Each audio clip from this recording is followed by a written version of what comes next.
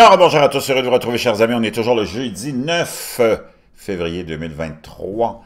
15h58, heure du Québec. Heureux de vous retrouver sur YouTube.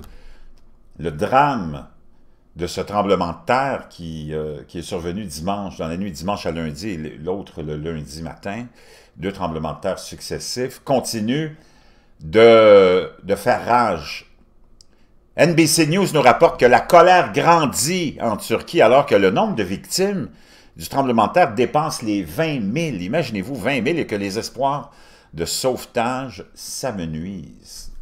Je vous l'avais dit, attendez-vous quand c'est arrivé à ce que le bilan, avec le genre de topographie, le genre de structure là-bas, à ce que le bilan continue de s'alourdir, puis euh, on n'a pas fini de faire le décompte.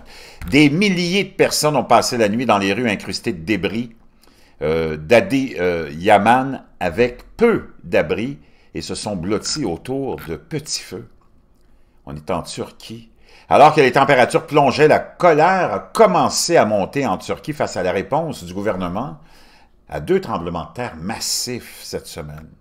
Jeudi, donc aujourd'hui, le nombre de personnes tuées par les secousses en Turquie et en Syrie a voisiné et a même dépassé les 20 000 décès, imaginez-vous.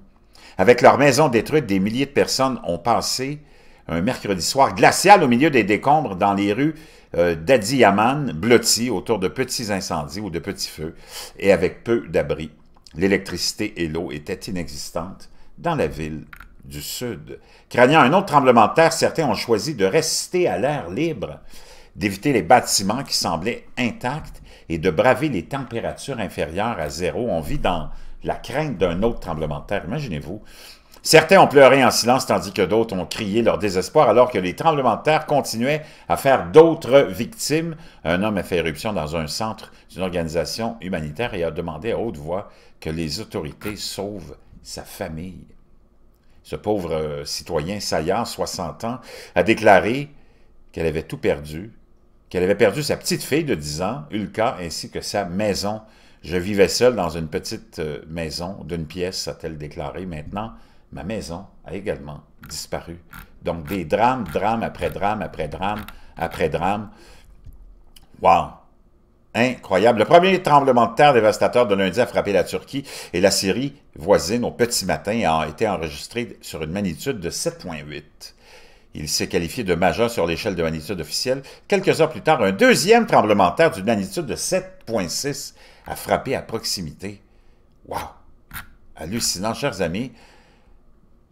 Quand euh, on regarde ça, on le sait, tout peut arriver dans la vie, hein, mais là, on parle d'un drame énorme, mais on est certainement en train de se préparer à vivre d'autres drames.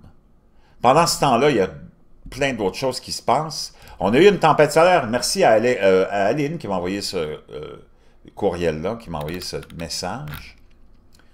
Ça vient du Independent français. Euh, une tempête solaire a frappé la Terre cette semaine et une seconde encore plus violente est attendue aujourd'hui. Je vous le dis, un malheur attend pas l'autre. C'est une question de temps avant qu'on se retrouve avec un épisode genre Carrington. Ça se parle de plus en plus.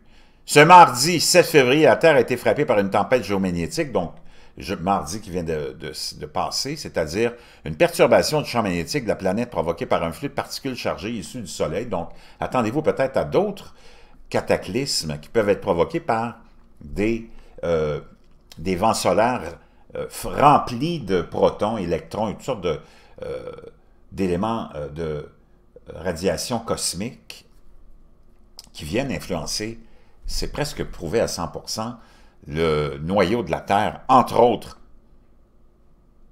Donc, c'est-à-dire une tempête qui a frappé, une, tempête géomagnétique qui a frappé euh, la Terre, c'est-à-dire une perturbation du champ magnétique de la planète provoquée par un flux de particules chargées issues du Soleil, appelé éjection de masse coronale. Ce phénomène a notamment provoqué une panne radio dans la région du Pacifique, comme le rapporte le Space Weather Prediction Center. Mais d'autres éruptions solaires pourraient prochainement intervenir, le Space Weather donne l'alerte. Les chances d'une forte éruption solaire aujourd'hui ont plus que doublé en réponse à une profusion soudaine de grandes taches solaires, les prévisionnistes de la NOAA. Dit qu'il y a 55% de chances d'éruption de masse et 15 de classe M et 15% de classe X. Les éruptions sont classées grâce à une échelle qui comprend les valeurs B, C, M, X. B étant la plus faible et X la plus intense, donc on a des chances d'avoir une éruption de classe X.